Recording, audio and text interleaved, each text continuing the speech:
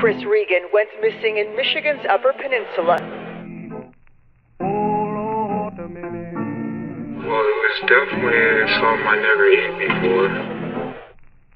Now with the spirit, This is a story that may as well be right out of a TV crime procedural. I was Kelly admitted to having an affair with Regan. I believe we, Cochrans, invited the Saylors for a barbecue. Kelly Cochran trial. 34 year old woman accused of murdering an Iron River man. Then, with her help dismembered, she even led investigators to where they dumped the remains. Oh, that would If he would have never met me, he'd be here today. on a hill. Hello there, my true crime cult. It's Breland here. I'm going to be telling you a really wild story. This true crime story is going to make you think twice before you eat at that barbecue this summer. Subscribe if you'd like to become part of the true crime cult. Thursday is the day that I'm going to be posting all of my new true crime videos. So even if you don't get notified, just come back here every Thursday. Also wanted to let you know I have a merch store if you're interested.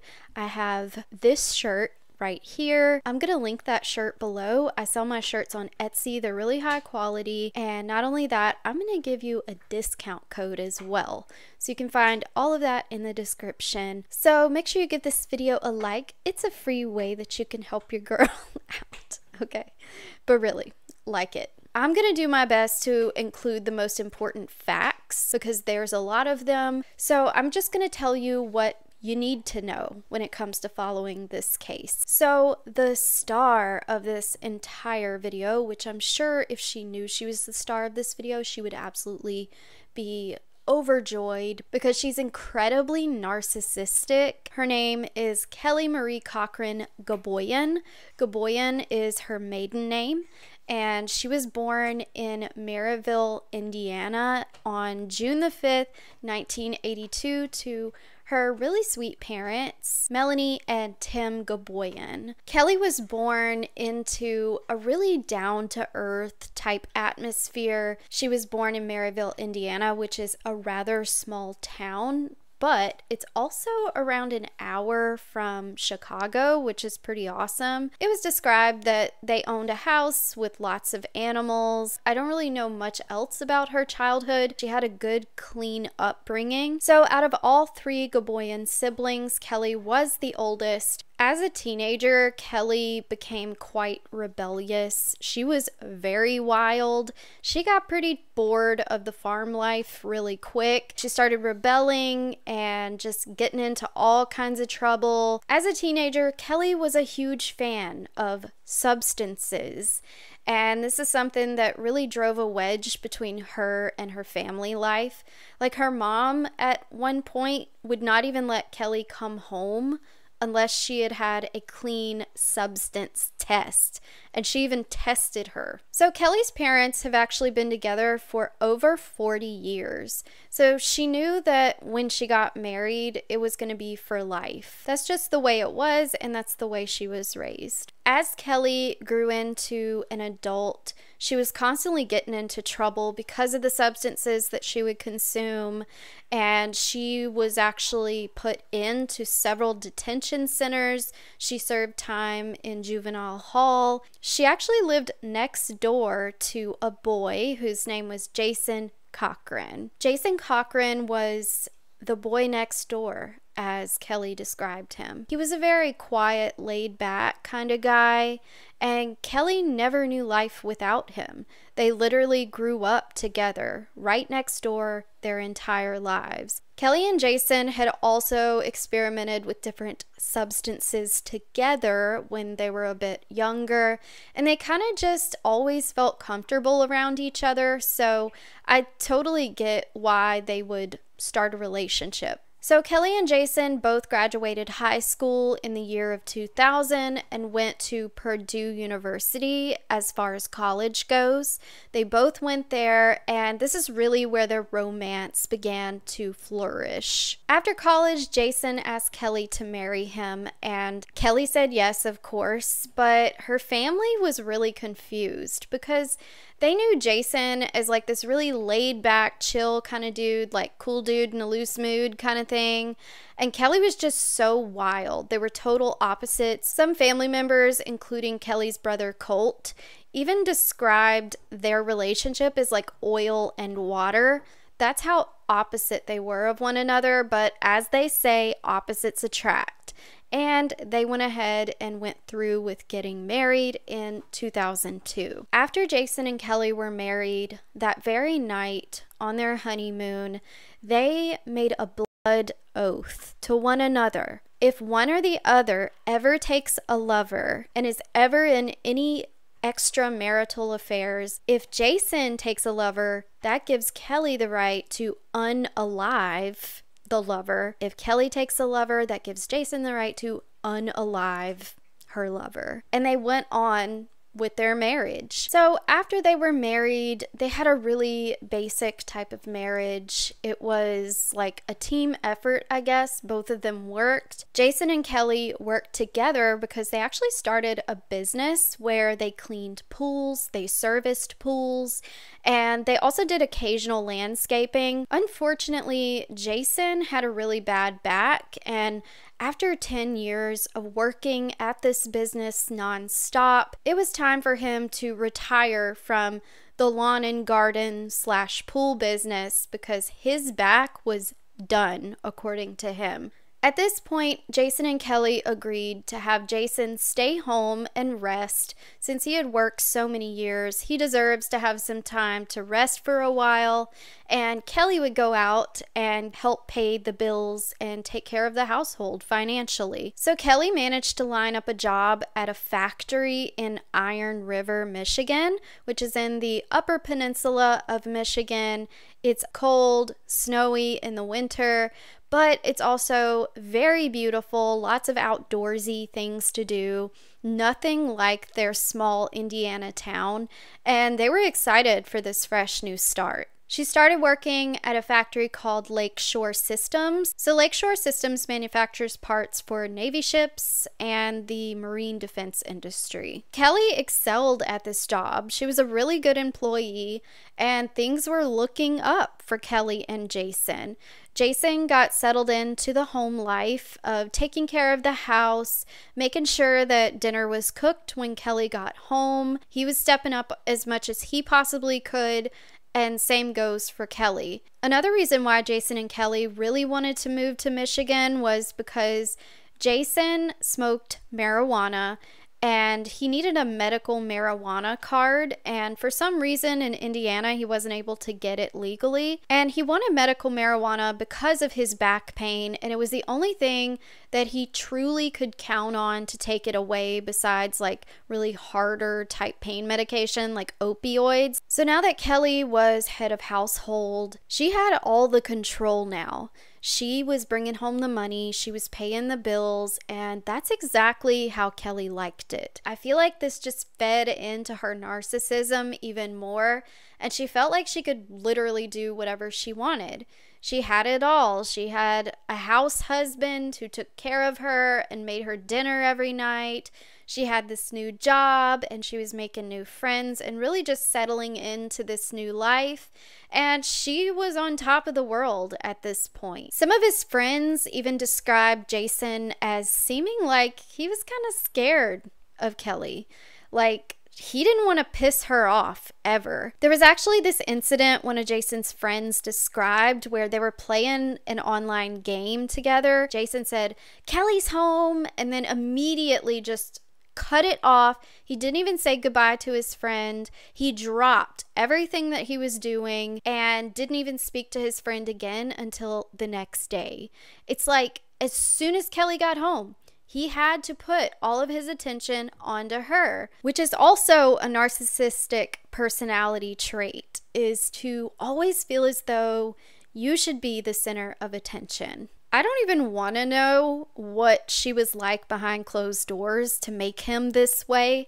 I'm sure she was very overbearing and extremely controlling. As I said before, Jason always wanted to keep Kelly happy, whether it be mentally, physically, sensually. So when Kelly brought up the fact that she wanted to open their marriage, Jason reluctantly agreed. So, another reason why Kelly wanted to open her and Jason's marriage was because Jason really couldn't move the way that he moved in the past, especially with his back issues. It made him almost immobile.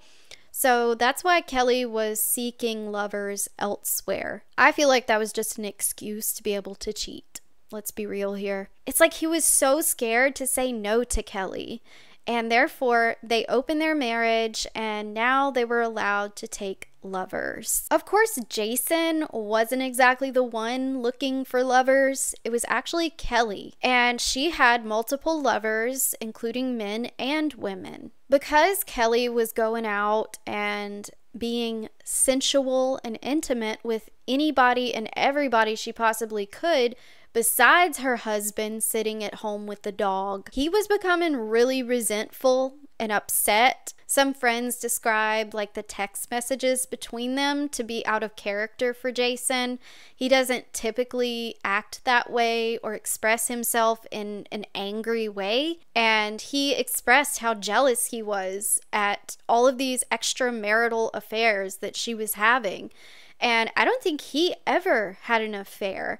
He may have, but it wasn't really in any articles. Like, he never really had any lovers. So, Jason also struggled with extreme depression. His depression got worse and worse the more she would essentially cheat on him and he would just kind of look the other way.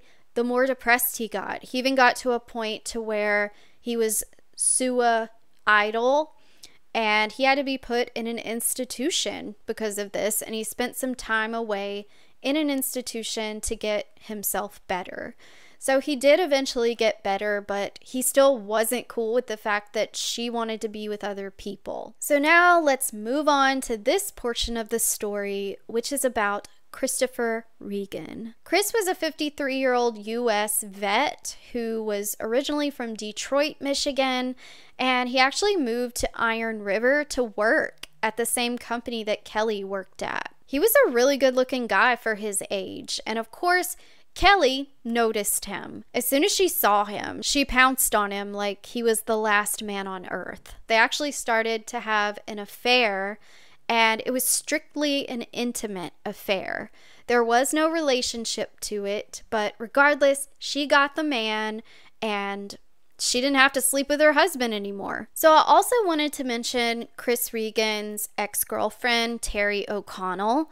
She played a big role in this story. Him and Terry had a relationship actually back in high school. Chris and Terry had actually rekindled their affair, and shortly after that, it just didn't work out like it did in high school. Mostly because Chris had a prawn addiction. He really loved intimate videos and photos, and Terry was not cool with that. She was like, mm mm. And she also said that he had expressed to her that since, you know, he was a recently divorced guy, so was Terry O'Connell he still wanted to play the field. He wanted to have more intimate relationships with other women. Although this ended their intimate relationship, they still stayed friends and they also kept in touch daily. Like they were really good friends. Kelly and Chris started to get hot and heavy gossip spread around the office that they were having an affair. They would always like go out on lunch breaks together and they were always like cozied up with one another. So, of course, the whole office was a buzzing. Kelly would always go to Chris's place where they would hook up and nothing more. There really wasn't much to their relationship besides the intimate aspect. It's said that Jason did know about Chris, but he just look the other way.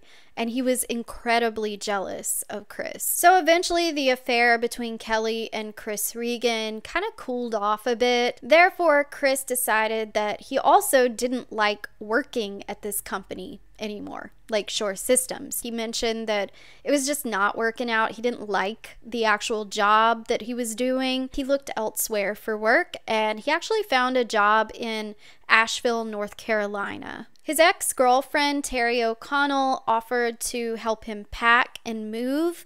And it's also stated by Terry that they were even talking about rekindling their relationship and maybe giving it another try. The day before he was going to leave to Asheville, Kelly gives Chris a call. And I wanted to mention Kelly was not cool with Chris leaving. He was leaving her in the dust, and she was not okay with that. Kelly gives Chris a call and says, Hey, you're leaving, you know.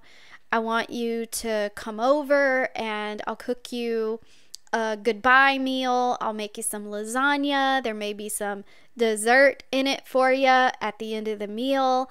And of course, being the hyper intimate man that he is, he agreed. So Jason actually had an extreme hatred for Chris at this point. He was jealous of him because obviously Chris had something that he didn't. Therefore, since Jason hated Chris, he reminded Kelly of the blood oath that they took on the night of their wedding. That's when her husband Jason strongly insisting on taking Chris out. Kelly later states she was forced. I mean, obviously she wasn't forced, but she was forced emotionally by Jason to partake in this. She really liked Chris. She even described him as the most wonderful thing in her life at the time. Her husband Jason wanted to take that from her, but because of the oath they made, she went through with it. She honored it. So, on the evening of October 14th, 2014,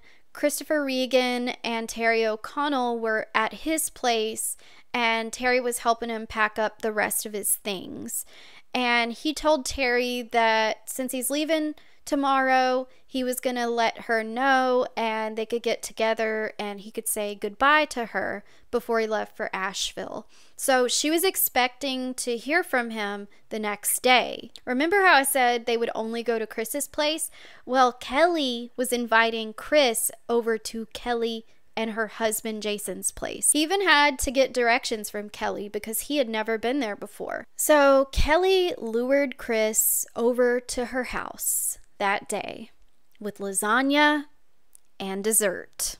And unfortunately, when he got there, he was met with his end. What's even more fucked up is how it went down. So Kelly invited Chris in and she cooked him dinner. Like she actually cooked him lasagna. They sat and they talked, they ate, and eventually it led to intimacy. As they were being intimate, neither one of them had clothes on. Chris had his back turned to the living room, and Kelly was against the wall getting railed, basically. As Kelly and Chris were in the throes of romantic bliss, Kelly knew what was about to go down, and she made sure that Chris was in the exact perfect spot at the right time. And slowly, Jason crept behind Chris out from the living room. Remember, I told you Chris had his back to the living room. So Chris had no idea he was about to be ambushed. But Kelly could see Jason coming with the weapon. So this was a shot run that he was using. He put it directly towards his skull and he fired. And his head exploded. Internal matter went everywhere. Detectives later stated that Kelly would have been drenched. Same with Jason. That's how powerful this 22 caliber was. After Jason saw what he had done, they confirmed that he was gone or no longer alive and Jason proceeded to drag his mutilated corpse down into this creepy ass basement and he throws the poor guy on the floor. I'm pretty sure he's missing half, if not all, of his head. he grabs an electric saw. As Jason proceeds to use this electric saw to begin sawing off all of Chris's limbs and dismembering him, he runs into a little snag. So Kelly has to run to the store. So she just runs to Home Depot in the middle of dismembering this poor guy. Once Jason got the cord he needed, he was able to continue his task and he took some trash bags and him and Kelly started loading Chris up into these trash bags. Kelly said that she actually threw up after this whole thing and when she saw that Jason was sawing her lover up. Kelly states that she really cared about Chris, but she still proceeded with this plan that they put in place. I feel like she just liked the way Chris made her feel because, of course, everything is about her. She's a narcissist. I think that's what she truly cared about more than Chris himself as a person. After getting Chris put away in multiple garbage bags, both Kelly and Jason began the cleaning process, which, might I add, they didn't do a very good job. So they ended up disposing of Chris's remains off the Pentoga Trail in Iron County, which is still in Iron River. I believe it's on the outskirts. It's in a more secluded area. They disposed of him in multiple places. Like so much that they haven't even found all of him. Now that Chris has been disposed of, I assume that the reason that they can't find all of Chris is because Kelly and Jason hatched up a plan to dispose of him in another way. And this is all speculation, but it's very, very, very likely they did this. Neighbors later pinpointed this as being two days after October 14th. So this would be October 16th. This was two days after they had taken Chris's life, and the neighbors said they got a very hospitable invitation to a barbecue in the fall, in the freezing cold snow of Michigan, which I find to be very sus. Usually, here in the United States, we only have barbecues like in the summertime. It's like a very big summertime event. So, yeah, Jason and Kelly were feeling extremely hospitable after they disposed of Chris. And they sent out invitations and invited all of their friends in the neighborhood to come over for a nice old fashioned barbecue. The Cochrans invited the Saylors for a barbecue. Neighbors stated that Kelly and Jason had never invited them over for a barbecue before and they never invited them over after either. Never invited us before and any time after that. So, neighbors and witnesses, friends who went to this barbecue, they said that they noticed Kelly and Jason cooking a lot of meat. And they said this looked like $300 worth of meat. And it's like Kelly and Jason were not well off whatsoever. So, like, how could they afford this meat? There's like $150, The neighbors claimed they had never tried this sort of meat. It tasted really weird, and they asked Jason. Jason lied to them and said that back in Indiana, he was a butcher in exotic meats. That's why their burgers tasted really weird. Jason claimed he was a butcher back in Indiana who specialized in exotic meats. You and I both know Jason never worked as a butcher. The only thing Kelly and Jason did back in Indiana was substances and mowing grass. So now I'm going to roll a clip of David Saylor, who was one of their neighbors who attended this barbecue. Well, it was definitely something I never ate before. It was like a transparent kind of like meat, like a lobster or shrimp, and it had the texture of it. Like, the, you know, the soft firmness of it. It was like something I never had. When I realized that I might have ate the dude, I didn't want to believe it. My eating habits are gone. I don't eat I lost so much weight. So, remember how I said Terry O'Connell, Chris Regan's ex girlfriend, was helping him move? Being an ex girlfriend and possibly a future girlfriend, she was really smitten with him still. Terry was extremely concerned when Chris never contacted her after October 14th. And she talked to her friends, and her friends were like, maybe he just went ahead and went to Asheville, North Carolina, and just didn't say anything to you. So Terry eventually hit her breaking point, and she was not going to stay quiet anymore after the 10th day of not hearing from Chris. So she went to the Iron County Police Department and filed a missing persons report. As they started the investigation into Chris Regan's missing person case, the investigators actually found his car parked at the place where they disposed of him. And it was really suspicious because they found the directions that Kelly had given him in his car written on a piece of paper. This definitely pointed to Kelly in the end. So it had already been a pretty long time since Chris Regan had gone missing. Detectives knew they did it deep down, but they had no evidence to make an arrest or charge them with anything. At this point, the case went cold, and Kelly and Jason were done with the police in Iron River, so they fled back to Indiana and they went back to their hometown. Although Kelly and Jason had moved back to Indiana, police were still questioning them and harassing them, as Kelly had said. She was starting to get really paranoid because in the interrogation room at one point, Jason seemed as though he was starting to crack and he was starting to give a little bit too much information, and Kelly was not cool with that. And therefore, on the day of February 20th, 2016, 911 dispatch received a call from Kelly Cochran stating that her husband was not breathing and she needed an ambulance immediately. Wayne County 911. This, this is like, well, he's breathing barely.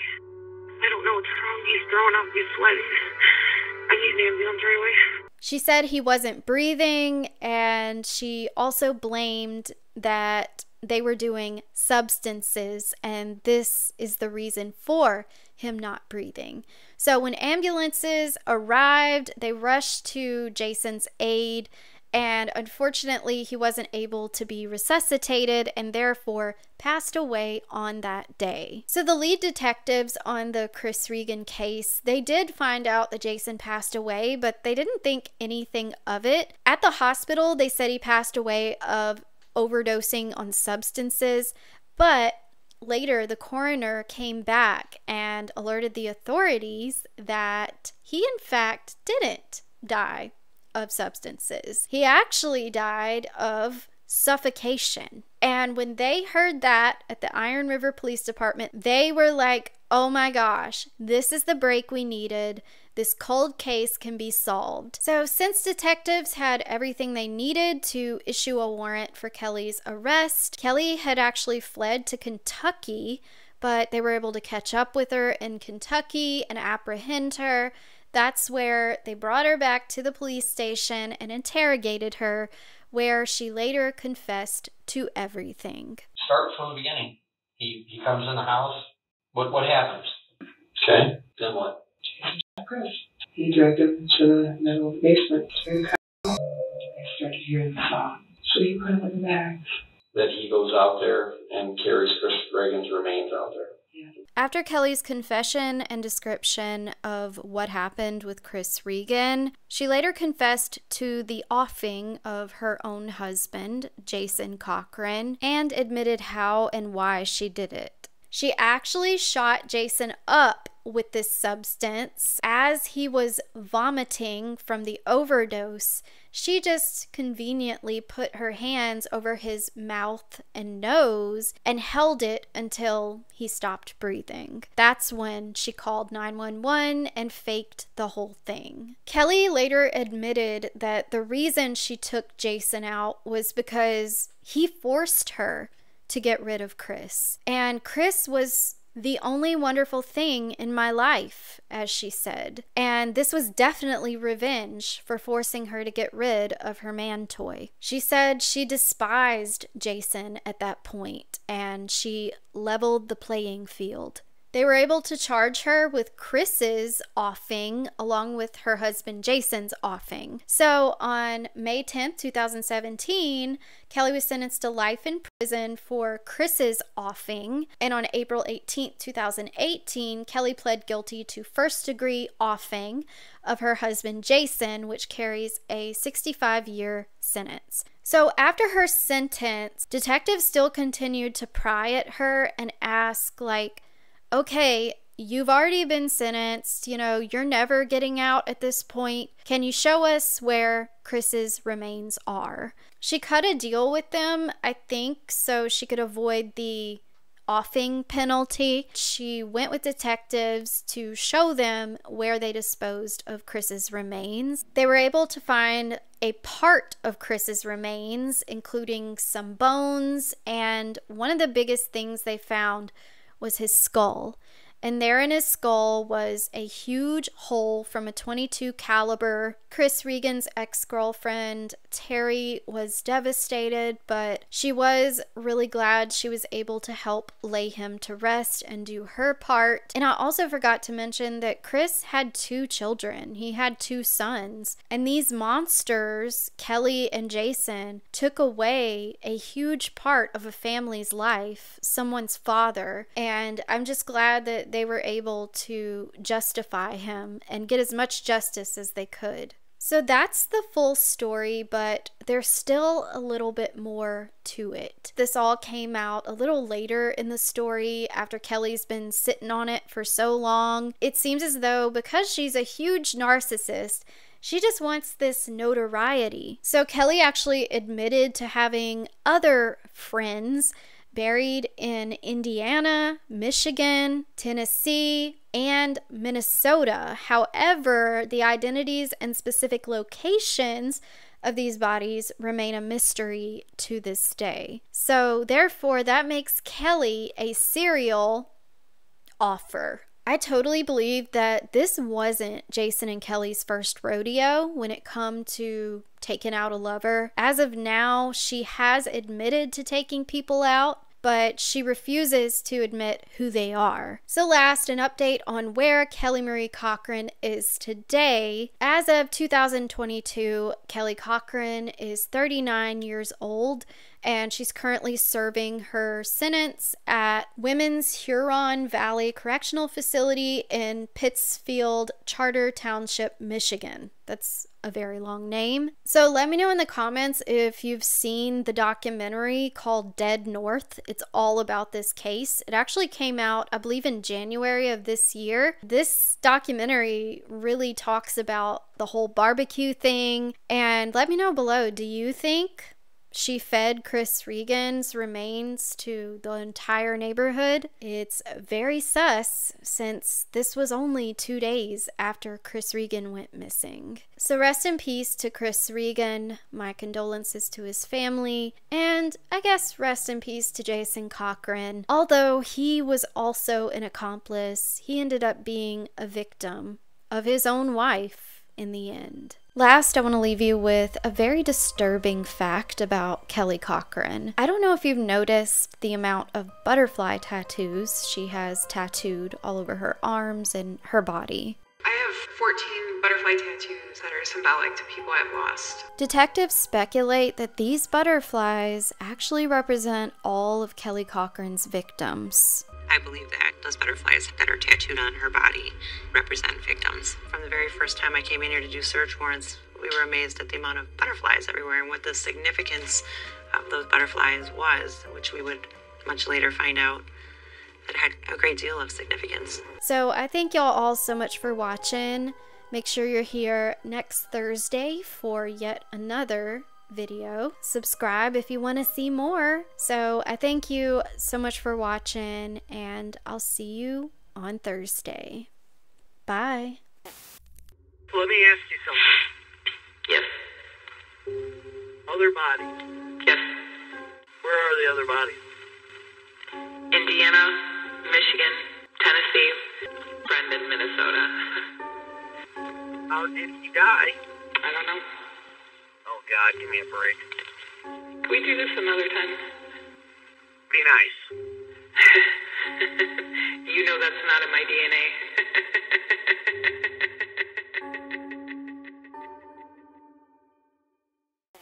the murder of a 10 year old girl, Lily Peters. Peters was found murdered near a popular trail just days ago. She got on her bike to go home, but she never made it there.